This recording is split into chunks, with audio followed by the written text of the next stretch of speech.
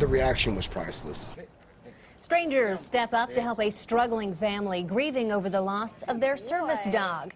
Now, this local couple does not have their dog back, but what they received has put a big smile on their faces. In a story you'll see only on CBS 13, we have an unexpected update we're more than happy to share.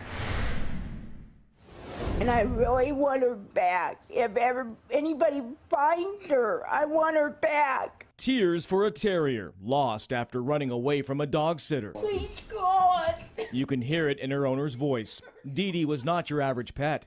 For about a dozen years, this service dog helped Todd and Lori Barger cope with anxiety, depression, and, well, just made life easier for the Valley Springs couple. When she disappeared last month, their world crumbled. But now just listen to Lori as we spoke with her by phone. I feel really happy. Happy this Stockton family was kind enough to reach out after hearing about their heartache.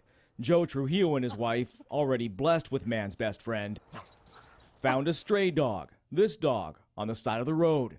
And after trying but failing to find its owner, she wasn't chipped and didn't have a tag, they offered her up to Todd and Lori. The reaction was priceless. This little dog we got is a dream. They named her Sugar, and Joe won't ever forget the sweet introduction. And once they met, the, the bond that she had with Lori, Sugar and Lori, they just connected right away. And it was, they were inseparable from the moment they seen each other. And they still are. It came and jumped on my lap and started licking me and having a good time with her. It really was in my heart to um, bless this family with that dog. To be able to fill in that empty gap that somebody's lost really meant a lot to us. Giving back to a couple that may not ever get their special needs dog back, but who sure did get a special gift from one caring family.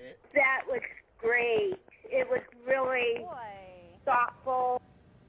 Yeah, the Trujillo ah. family really stepping up there. And while technically not a service dog, Lori and Todd say Sugar has already calmed their anxiety. She looks right at home. No doubt.